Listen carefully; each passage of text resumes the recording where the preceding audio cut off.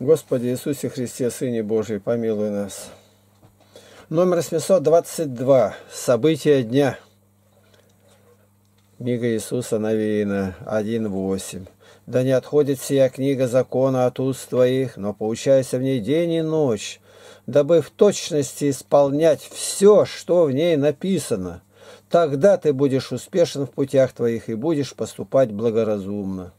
Вот если это один за 4 декабря 2017 года. Вот один стих этот брать и сравнить буду прошлая Россия, Святая Русь. Да ведь дни они жили так.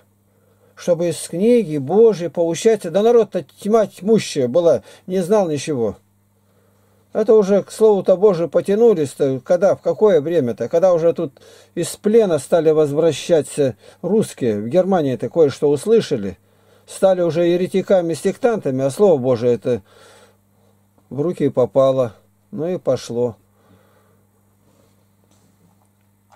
Вот комментарий вчера кто-то дал. Посмотрите, какие люди к нам заходят. Но я выделил, что похожих два вот этих домика и прочее. Ну, зарядили, тут есть одни и те же слова, как, как перевести текст этот. У нас абракадабра получается. Но видно, что не со зла зашел человек к нам. Вот кто знает, пусть переведет точно только ну и будем знать. И вот интересно. Вот кто-то подписал это Сайберия и Арт. А мы сразу его высчитали. Кто он такой? Артюшкин Александр с Америки. Знакомый был с Игорем Дыбуновым. И вот он заходит, я его не запечатываю, и он имеет возможность э, заходить. И вот там у нас детский лагерь показывает, приехало телевидение 24 ТВ, и вон тут вышел. Совершенный безбожник. Ну и жизнь, конечно, делающий доброе идет к свету. Вот в чем дело-то. Тут я не знаю его жизнь, но немножко кое-что видно. А делающий злой ненавидит свет и не идет к свету. И он пишет, у меня приятель, это комментарий пишет, попал в паутину этого златоуста на меня – это паутину я, значит, расставил. Ну, мировая сеть, так и называется, Интер, международная сеть. Завлек нормального парня в секту, сбил полностью с панталыку. Был нормальным, а стал на вроде идиота. Ходит с бородищей, кушаком подпоясанный, Игорь его зовут. Кроме религии у него теперь ни одного слова. Таких фанатиков еще поискать, как этот Лапкин правильно его жучат, ему надо еще поклонников его философии. Вот он и детей приучает к собственному величию. Мне так кажется, так это обыкновенный проходимец или сумасшедший, которому крайне необходимо витийствовать перед молодежью. Видите, он зашел и сразу характеристику дал. Видел он? Нет, не видел. А что? Безбожие и лютость. Это люди обиженной жизнью. Я их очень хорошо знаю. Как правило, это не женатые. А с кем он такой ядовитый уживется? Ему кажется, правильно его жуще. То есть мне тут трудно Роспотребнадзор нападает. Нет, правильно. То есть от, от осколок прежнего режима империи зла и лжи. В Америку уехал. Зачем он туда? В Америку. Ну и где-то засел. Вот даже не знаю его ничего, я знаю, нигде он там не вылезет. Там ему тоже подскажут. Почему он там не нападает-то ни на кого-то? А как? Фанатик. Он не знает, что слово фанатик это положительное слово. Это человек, готовый умереть. Есть так фильм был «Ленин в октябре». Ну и когда там все это обыск прошло, прошел в квартире Ульяновых, это я еще помню со школы смотрел. Еще ничего не знал. И один, а, который остался там кто жандарм, и спрашивает Марию Ильиничну-то, а вот о Владимире-то говорят, он фанатик. Она вот так объясняет и говорит, это человек готовый умереть за свою идею, за дело. М -м -м. А нам-то говорили, это плохо. Он ничего не знает даже. В добром, конечно, смысле. Евтушенко Сергей пишет, слава Иисусу Христу. Игнатий Тихонович, вот ссылка для скачивания на жития святых, первый век. Тут аудио, видео, файлы. Аудио, так же как и видео, разбиты по житиям каждого святого. Каталог на жития частично исправлен в соответствии с расположением файлов на вашем сайте. Там же есть текстовой файл, в котором описаны детали нумерации и наименований файлов для облегчения навигации. Если что-то вас будет не устраивать, напишите, я подправлю. Видео делал почти такие же, как у вас были на канале, что у больших различий при публикации не было. То есть вот на меня два человека вышли, новые, не встречался никогда с ними. И Господь так помог через них. Вот один занялся э, Библию, чтобы разбить не по главам, а хотя бы по полчаса, как в один ролик. И уже все закончил. Неделя не прошла, и все закончил. Вообще удивительно. Новиков Сергей Александрович. Новенький человек пришел. По фамилии, говорится. А этот человек занялся другим.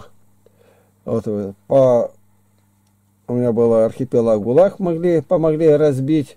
Там Сергей, и вот они в разных. Это сейчас житиями я говорю. У меня житий 1173, кажется, так теперь, э, которые начитанные. Ну, 12 томов Дмитрия Ростовского но один человек почти 300 э, с лишним роликов обработал, и их ну, можно теперь слушать по святой и ролик. И начинается там музыка, колокольный звон, и тогда житие святых. Моя начитка, мой голос. И он показывает, где это теперь можно. И вот что интересно, да, что сказал Наполеон о Христе.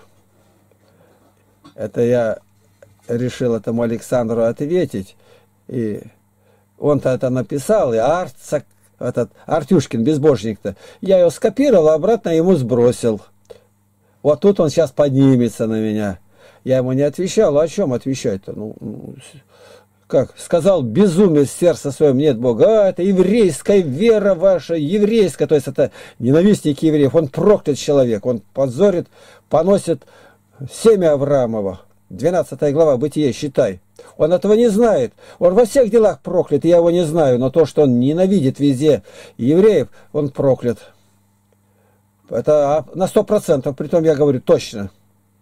Это неприкасаемое племя. Даже они сделали революцию, убили царя. К делу не относятся. Обетование Божие остается в силе. Обетование. А у меня все ладится. Я благословенный. Почему? А я благословляю это, этот народ, семя Авраама, чтобы они обратились, стали христианами, приняли его как Мессию.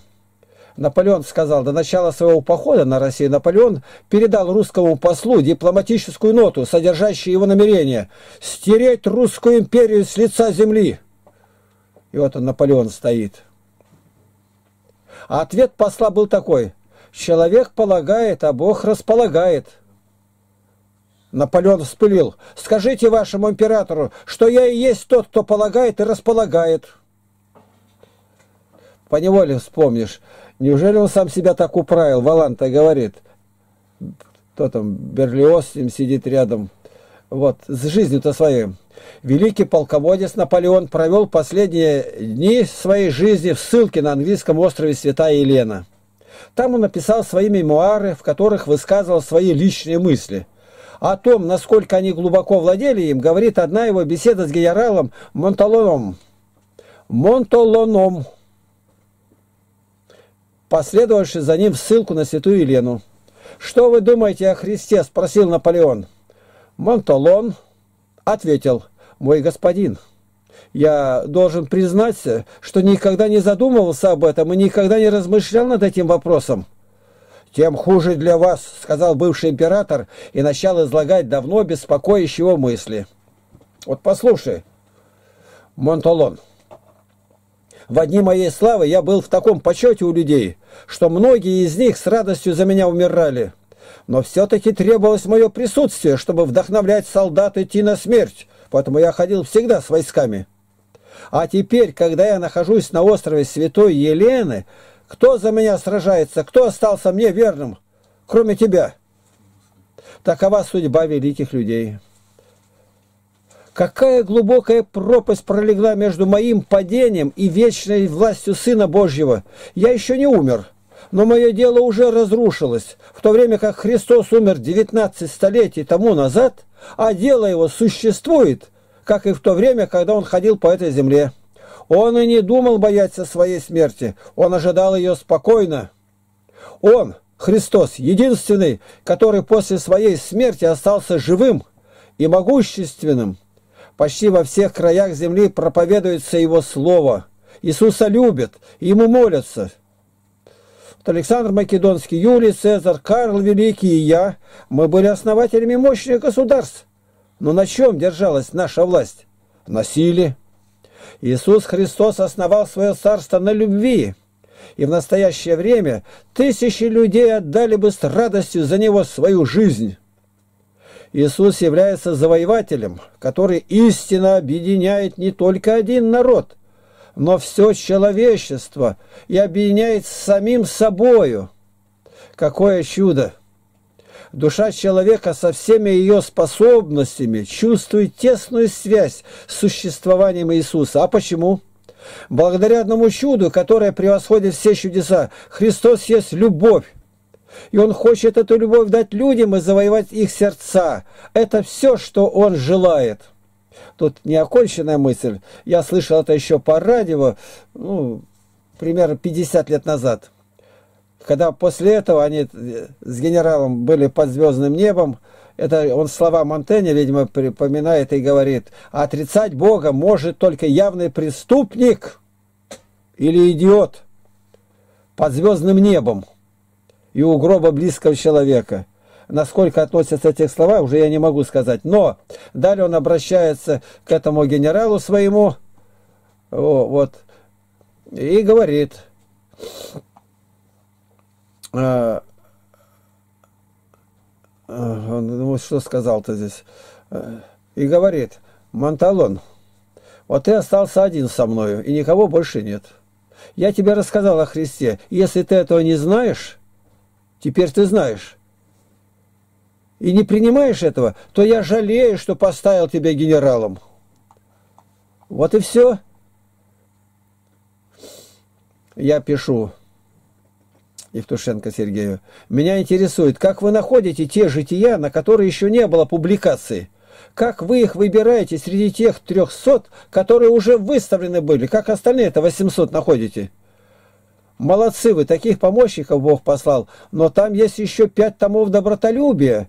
Неплохо было бы и их по роликам сделать по полчаса и четыре книги отца Григория Диченко, и интервью все в ролике сделать и с надписью, как Новиков Сергей сделал, так выпуклые буквы, и показал как.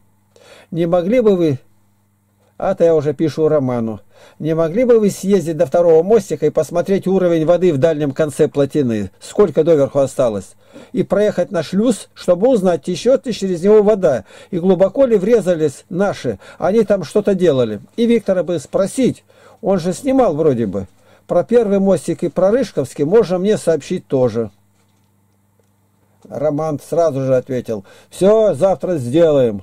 Я ему про голубей говорю, что там кормить, поить надо. Он, все так и делаем. Вот, пожалуйста. Юрий Соболев. Отец Андрей пишет, Кураев, как его называет э, его там живой журнал, «Курятник». Памяти архимандрита на своем живом журнале Э, плюс архимандрит Дионисий Шишигин. Свой человек патриарха Пимена не чужой для патриарха Алексея. При нем он натаскивал других архимандритов к их епископской хератонии. Натаскивал, ну, ну здорово как, как будто бы охотничью собаку на зайцев. Именно он уже в нулевых годах, что тут в нулевых годах, или кончила жизнь его, или 2000-е годы, с горечью сказал мне – Отец Андрей, вот ты профессор богословия, так объясни мне, что происходит на архиерейской-то хератонии-то. Дух Святой, может быть, исходит на них, но я точно знаю, что дух хамства вселяется в них немедленно. Запомните эти слова. Дух Святой, может быть, исходит, но точно знаю, что дух хамства вселяется в них немедленно. Вот тут прислали у нас Славгородский сейчас э, епископ, первый раз видит нас, все поднял против который священник ездили запретил. Какой-то Понич, фамилия его. То ли Всеволод, что ли. Я ничего к нему не имею. И батюшка приглашает каждый раз. А тут разные миссионеры, то есть они ничего не знают. А вот они не входят в дипломатические отношения. Ой-ой-ой. А как его звать? За руку тянуть? Еще накануне сей боголюбезный архимандрит, избранный во епископа града Энска, сама любезность. Ах, что скажете, батюшка? Подскажите, отец архимандрит. Благодарю вас, дорогой отец Дионисий. Но уже через час после херотонии он, пойди туда, принеси вот это. Абсолютно точно.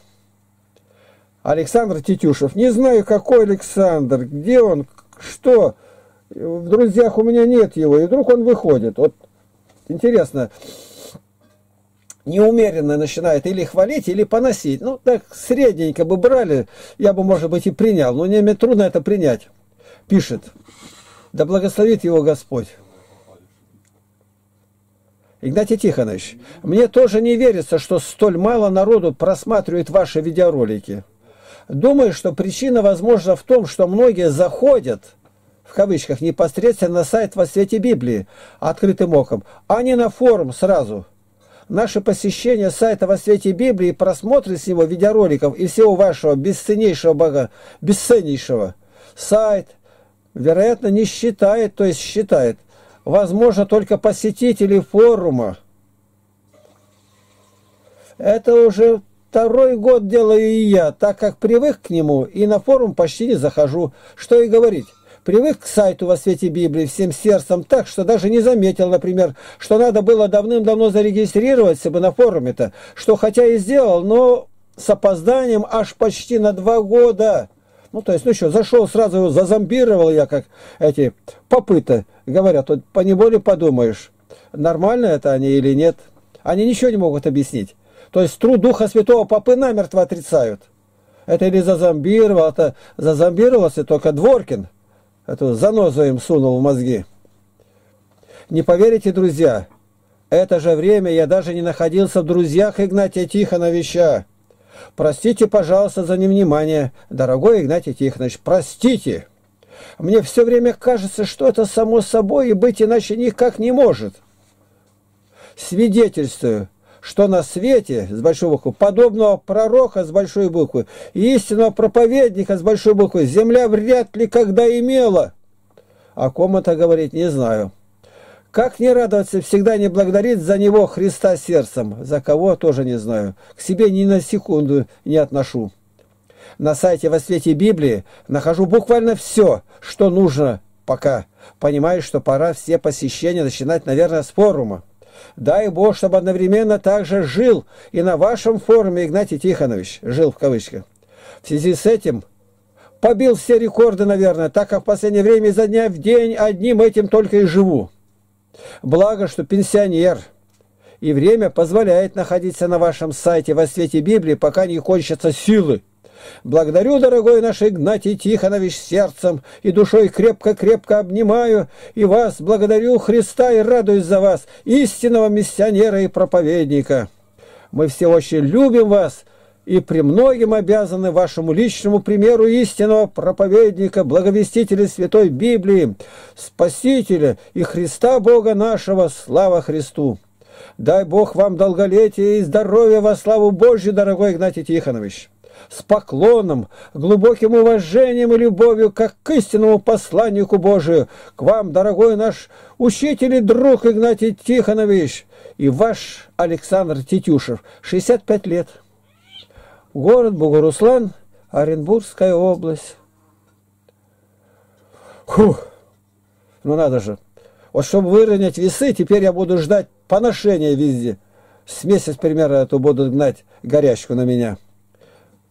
Рустам Гусейнов, Игнатий Тихонович, а можно рассылать видеоролики мои с вами скайп-беседы своим знакомым, ну, в том числе и женщине, которую раньше любил. Естественно, не для того, чтобы связать с ней узы любви, а для назидания в православии, или же это есть нечто метание бисера перед свиньями. И лучше не оглядываться назад, не смотреть на прошлое, забывая заднее, простираясь вперед. Но если на женщину, то, конечно, не смотреть у ней на заднее это. И лучше простираться вперед. Я отвечаю, это как раз тот момент, где нужно отступать от места прежнего греха. В том направлении ни шага и не давая знать о себе. 1 Коринфянам 6.18. Бегайте блуда. Всякий грех, какой делает человек, есть вне тела, А блудник грешит против собственного тела.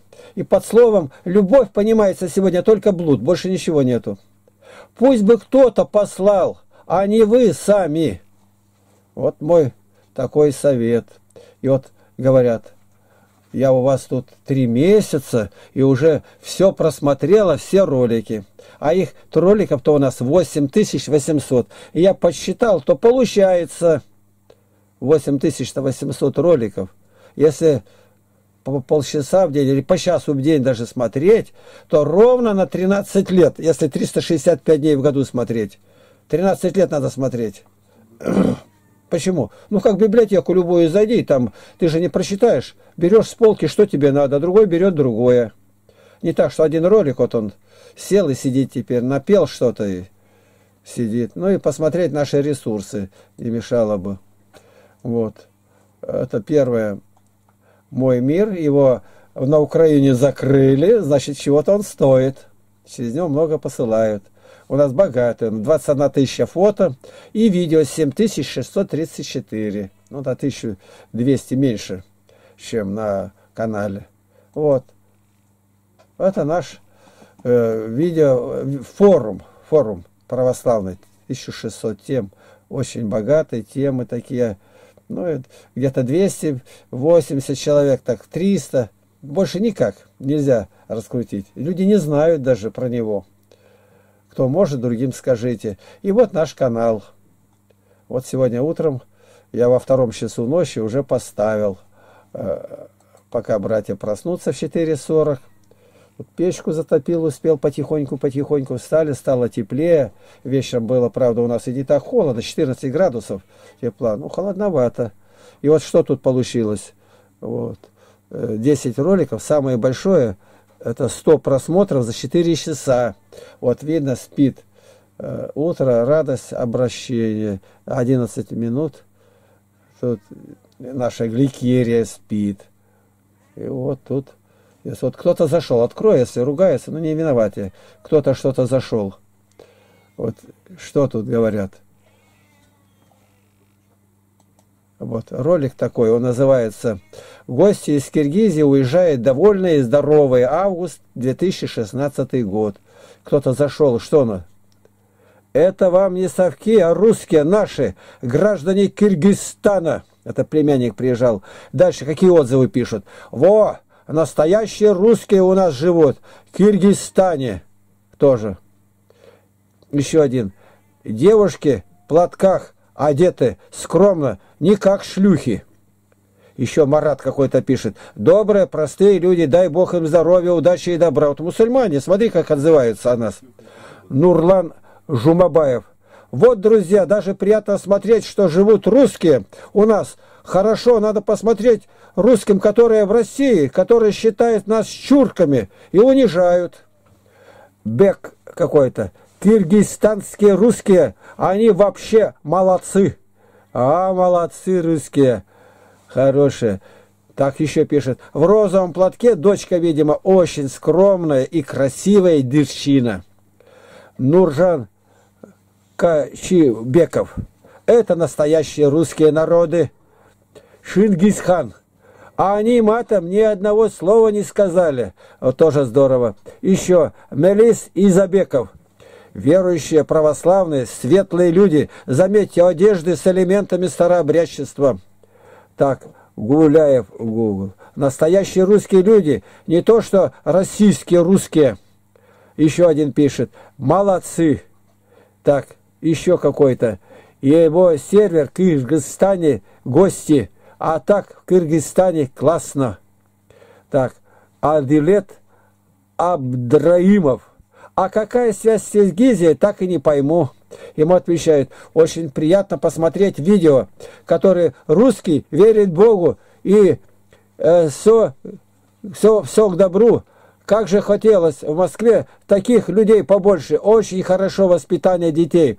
В Москве или где-то дети курят, матерятся очень много. Спасибо за все вас питание, за вас питание таких детей. Турсуналиева Рима. Такие простые люди добрые. Дай Бог вам здоровья, счастья. Это мусульмане нас благословляют. Дальше. Хорошие, приятные люди. Ансалбек Табагаров. Прикольный дед, как Василий, не забудь, потом мне скинешь. Да, одна пишет, такие простые люди добрые. Еще один пишет, Айдар Шакеев, я люблю русские из Кыргызстана. Муслим, эти русские из Кыргызстана в гостях в российской деревне. Приятно видеть верующих. Вот они, говорят, гонят, убивают. Еще Курман Исакеев, уважаю русских. Какой-то даст. Как будто назад во времени. Слава староверы, что ли, киргизские. Латинскими буквами, тут я плохо вижу. Дальше. Какое прекрасное лицо, какой-то тер. Это вам не совки, наши граждане российские, Жюки Закир. Баристан Сапарбеков – Кыргызстанские русские отличаются от российских русских, как небо и земля. Русские в Кыргызстане отличаются с тем, что они человечные, простой душой, вежливые, воспитанные. А в России русские обратная сторона, самая худшая во всех отношениях. Да и без слов понятно уже, многие уже знают, вся страна, русские из России уже давно показали себя с плохой, худшей стороны, недолюбливая других. Элементарное уважение – в общении, уважение, общение, гостеприимство не знают, а ведь это самое главное между людьми. Гульсара Юсупова. А Киргизия тут при чем? Ажамбеди, Аман Келды, Даданбаев. Уральцы, что ли, староверцы. Аимыкас Байзакова. Уважаемые земляки, Щедро, дорого вам, хорошо доехать. До, до домой Киргизии, соседи ждет вас. Самара Акулова. Киргизские, русские, очень добрые, хорошо. Я очень люблю их, уважаю. Дай Бог вам здоровья, счастья. Комиссия это тип полицай, пишет старообрядцы. Такие простые люди и добрые, дай Бог здравия, счастья. Вот настоящие русские народы, живет Киргизстан, и очень добрые. Но так я не поняла, в чем дело-то, про лагерь какой-то, Руттердомна. Грамотный бабай. Это на меня уже они поехали. Бабай. Татони, извините нас. Киргизы, точно. Что-то тут пишет, а не могу. Отличительный людей. Отличительный людей. Ну, вот видите, что не ругаются. Вот тебе и мусульмане. Вот как относятся, когда ты, как даже одет только где-то. Ну вот, я могу даже показать, где это. Вот мы беседуем здесь. Вот посмотрите, это моя сестра стоит, разговаривает. Я хотела спросить, объясни, кому это, на кому наука, ну Алешке, чем суть кончится? Это она к сыну подошла, вот девочка как раз стоит. Давай так. Ага, всем привет, Гарри. Вот. Что там, хотя бы двух слов? Вот, я теперь дальше продергиваю. Вот его дети здесь это. Кто сунул, то так она что будет смотреть, а за ухом что выйдет? Она не должна прикасаться к тому, что... Девочки уезжают, вот они уезжают. Одна пишет, у меня двое ребятишек было здесь. Вы сделайте ход конем. Я говорю, а как? Всех ребятишек отдайте, моих не отдавайте. Пусть они у вас побудут. Пусть девочка хоть научится стряпать, мальчик научится гвозди забивать, выпрямлять. Вот видите как, какой отзыв. Это, ну, я зашел туда, потому что я не знаю, пока первое тут читала в это время. Вот такие комментарии, ролик. Ничего нету, мы провожаем родственников своих тут. Вся родня собрались. И вот мусульманам понравилось. Вот пока говорил тут. Ну и есть у нас еще э, вот в Осетии Библии православный библейский сайт. Тут очень много всего, очень много. И вот у меня здесь звук и видео, вот здесь и есть. Тут звук и видео Златоуст, 12 томов сейчас обрабатываем, жития, и вот нашлись люди, которые помогают. Ну, а я тут своим делом выставляю пока, занимаюсь. Вот теперь хотел показать. Вот это вчера мне прислал и говорит, ну ладно, я буду заниматься добротолюбием, ну а какой заглавку-то сделать? И он прислал мне, одобряю я или нет. Вот. Вот Библия, тут добротолюбие, первый том, 150, то есть какие страницы, с какой до куда доходит. Видите, как сделал, как по-старинному, буквами такими славянскими. Это Новиков Сергей Александрович. Ну, я одобрил, одобрил, говорю, очень хорошее. Я не привередливый, но все. Вот.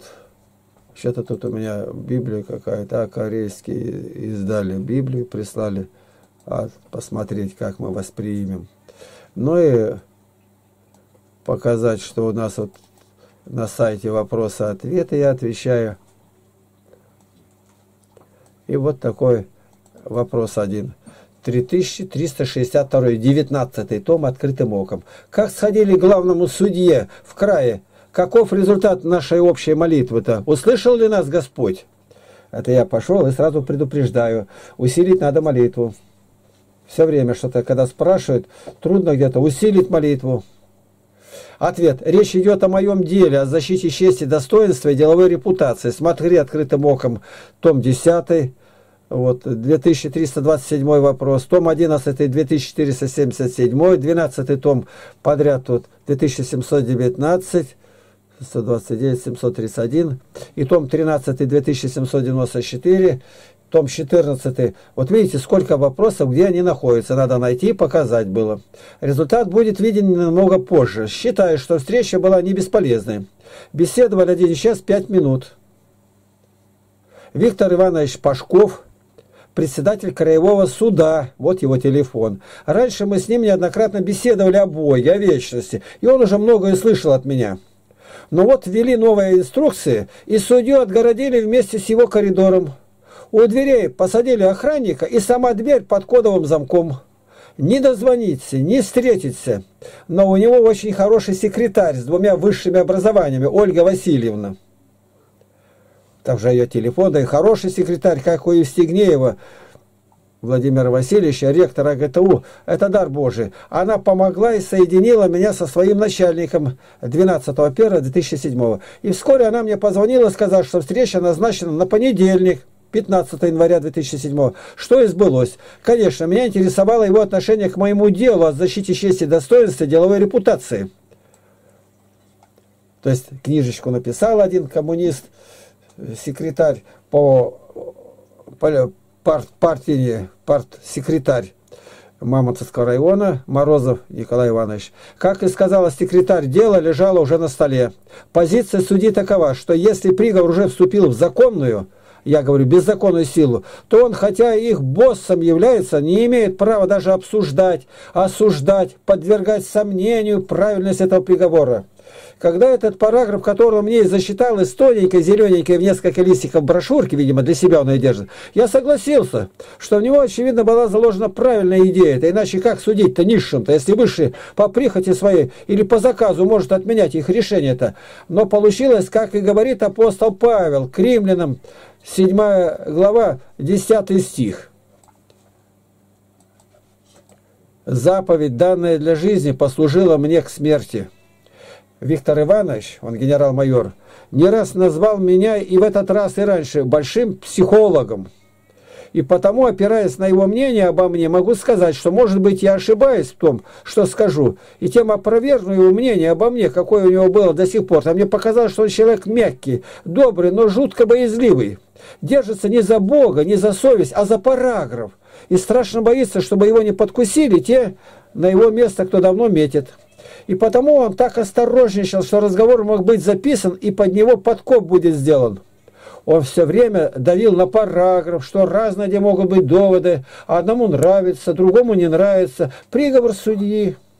Я же только одно долдонил, что в моем деле не только нечего было исследовать-то, а нужно было суде громко хлопнуть по столу рукой и выгнать всех лжесвидетелей-то, чтобы не морочили голову, так как не было того, что клевещет старый коммуниста. Не было не потому, что смог бы я это доказать или подобрал хороших свидетелей-то, а по исключительности и уникальности доказательства. Не было самого места где было якобы совершено мною преступление против человечности, против самого гуманного строя коммунистического людоедства.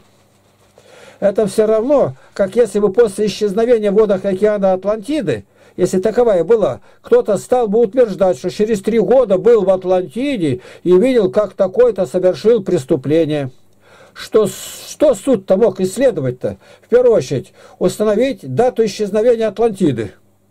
И все, что будет говорено, что будто было на улицах и в домах Атлантиды после этой даты, считать вымыслом сумасшедшего. Вот это я и твердил добрый десяток раз Виктору Ивановичу-то. Он терпеливо выслушал меня и потом начинал считать выводы краевого суда. А в этой папке подшито мое воззвание вопль к нему же, к Пашкову Виктору Ивановичу-то. Я прошу прочесть его, но он снова считает выводы суда не было ли нарушено какое правило при судебном разбирательстве, производстве, было ли экспертиза и выслушал ли у нас судья Прилипченко ГА. Когда я сослался на лживость судьи, он тут же уведомил меня, а я это и так знал, что судья уже не работает. Этим он желал меня уверить, что у них теперь дело лучше обстоит. Но я сказал, что хотя Прилипченко нет, но дух-то лжи в них прилип прочно, он тут и застрял. Когда я сказал, что я пришел не за тем, чтобы Виктор Иванович отменил или изменил сразу решение суда-то, но для того, чтобы впредь у него в судах не было такого безумия. Но он снова начал считать решение Краевого суда, который не нашел причины для отмены решения первой инстанции. Я мысленно помолился и пристально посмотрел на говорящего мне, и мне показалось, что я вижу все суды мира, где вместо облеченных тогой – не, такой неограниченной ничем власти сидят не люди, сотворенные по образу Божию, а мертвецы, облаченные в судейские тоги, мертвые бездушные манекены. Я снова попросил, пожалуйста, прочтите эти шесть страниц моего вопля. И вдруг он совершенно чужим и вовсе не своим мягким голосом, а замогильно черство и сухо ответил, чуть ли не с угрозой, «Вы меня не ломайте». Он ли это выдохнул? Виктор Иванович рассказал мне, что недавно с кем-то разговаривал, он так и не сказал мне, с кем именно. И те что-то начали говорить, что Лапкин делает что-то не бескорыстно, и что он, Виктор Иванович, стал на мою защиту. «Вы не знаете этого человека», — сказали, — «а я знаю». И стал припоминать мне мои слова, что я когда-то ему говорил, что рано или поздно, но правда восторжествует, и Бог все расставит на свои места. Не история, а Бог — и тут я сказал о том, что не могла ли судья получить взятку, большую раз в десять своего оклада-то, что так осаживала на меня и так заступалась за коммунистов. Реакция Виктора Ивановича была бурная. Он сказал мне, вот одним этим вы перечеркиваете все ваши добрые дела, если так о судьях думаете.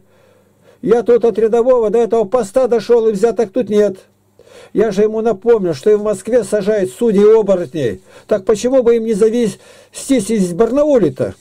И напомнил об одной особо зверского нрава, которая подпирает его, и фамилия этого ней Зверева, о которой столько раз слышал в городе, что она не берет, а гребет взятки. Очень много говорил ему о бессовестности судей и о невозможности им спастись на суде Божьем. Сирахов 8.6. «Не домогайся сделаться судьёю, чтобы не оказаться тебе бессильным сокрушить неправду, чтобы не убояться когда-либо лица сильного и не положить тени на правоту твою. О развале страны просчитал и дал в руки ему самому прочесть слова Анатолия Федоровича Кони, адвоката. Он пишет, там, где справедливость и правосудие не сливаются в единое понятие, там общественный быт поколеблен в своих нравственных основаниях. Справедливость и правосудие – мне настолько было жало Виктора, жалко Виктора Ивановича, что так и хотелось там встать на молитву и помолиться о его плененной дьяволом душе. Думаю, что услышал нас Господь, и судья выслушал меня великодушно. И уж никак не думай, чтобы он забыл этот часовой разговор. Он будет еще о нем дома, в личных беседах с женой и с дочкой вспоминать, читая мои книги. Еще раз убедился, что хотя бы ты имел тысячу адвокатов – это ничуть не поможет в самом выигрышном, в самом выигрышном деле, если Господь не поможет. Римлянам 9.16. Итак, помилование зависит не от желающего, и не от подвязающегося, но от Бога милующего. А имеющему должность так легко было бы и выправить безумие нижестоящего клерка, написать самому Верховный суд и рассказать, что была допущена грубейшая ложь, и нужно немедленно отменить безумное постановление лживейшего судьи. И, конечно же, видя подпись председателя краевого суда, там уж никак не могли бы проигнорировать его справедливую просьбу. Но, видимо, многое удобнее спустя лет 70 создавать реабилитационные суды и из-за отсутствия состава преступления считать сегодняшний яко бывшим. Сразу же созвонился с доктором юридических наук профессором Сорокиным Виталием Викторовичем, его телефон даю, чтобы узнать, можно ли выступить перед его студентами – достучаться до их сердец, чтобы они не губили свои души. Созвонился с профессором Теном, Леонидом Васильевичем, ректором Академии экономики права, с той же просьбой. Притча Соломона 22.6. Настав юношу при начале пути его. Он не уклонится от него, когда и состарится. То есть я хотел перед э, студентами юридического факультета выступить. Исход 4.21. «И сказал Господь Моисею, когда пойдешь и возвратишься в Египет, смотри, все чудеса, которые я поручил тебе, сделай перед лицом фараона. Я ожесточу, а я ожесточу сердце его, и он не отпустит народа. Я написал стихотворение. Беседовать приходится с судьей, он генерал и в краевом масштабе. К нему клиент так просто не пройдет. Забаррикадировался и предбанник бабий. Я целый час стучу по сердцу сейфу пытаясь совесть вызволить наружу. Не покривить бы самому, не сдрейфить, по делу моему азартно кружим. Ему долдоню целый битый час, что не было событий и места. О том, как коммунисты на меня рычат, в грязи безбожность с потрохами месят. Пытаясь документы показать, с дотошности тяну разгоряченно, а он параграф тыщет мне под зад, пытается поднять мой ум никчемный. Ни бог, ни совесть в кабинет не вхожи. Куранты бьют последние часы. Не умиляюсь, говорю все строже, что судьи оборотни, взяточники псы. Припомнил на буфе Иисусану, бесстыжего беспожного судью, что он и я на Божий суд предстанем, там непрестанно бабки подобьют. Перед Пилатом связанный Христос, святая истина стоит в кровоподтеках, судья же до вопроса так и не дорос – так что есть истина, слепец возвал в потемках. За эту встречу многие молились, как некогда запало перед фестом. Слова евангельские пережигали примесь, щадит судейский кодекс с адским треском. О, Господи, дай совестливых судей, соделай чадами у Божьей благодати. С Давидом, с Моисеем заодно да будут, дай силы распрямиться всем горбатым. Слава Иисусу Христу! 16 января 2007 года. Но дело-то вот в чем. Когда они стали представлять свидетелей, и приезжает у него свидетель, бывший директор книги какой-то там, научный или кто, директор библиотеки Гатсенбиллер. Документы, трудовая, все как надо. Все запротоколировали, что они приезжали в 75 году или 76-м, запомните цифру, в 75-м, 76-м. О, я вопрос задаю, вы приезжали кем были? Директором. Доказательства, он по, трудовую показывает, ну и правда. В этом году он принял. Еще раз переспрашиваю, вы были уже в должности директора, когда приехали, да? А я в это время уже работал в архиве краевом и нашел, что в 71 году или в 70-м в Потеряевке уже школы не было. Не было. Она закрыта была, там осталось три ученика, и она была прикрыта. Не было. Это три или пять лет разделяет. Как вы могли приехать в деревню, где не было ни одного человека, ни одного дома? Ну, деревни нету, ни одного учителя, ни одного ученика. Как вы могли? Как вы могли видеть что я учительницу отталкивал, заходил, но я попросил в суд вызвать сына ее, а он доктор исторических наук, он приехал, Саша, сюда. Я говорю, скажите, вашу маму Ульяну Ивановну э, в деревне-то уважали, ну, как учителя в деревне, да. А могло быть такое, чтобы я зашел, вот с женой тем более, ее оттолкнул, непонятно зачем, да вы что, да нет. Я говорю, ну вот это они утверждают, подтверди, что это гипотетически не могло быть. А там, как могло быть событие, если Атлантида уже ушла, ее нету, она на дне моря. И документы, которые с краевой, э, с краевого архива, там папки поднимали, это там искали они за район, за какого. У них там все по полочкам, не как у меня здесь. Ну, я все выписал и на бланке этого архива принес. Еще судья только глянул, на деревни-то не было.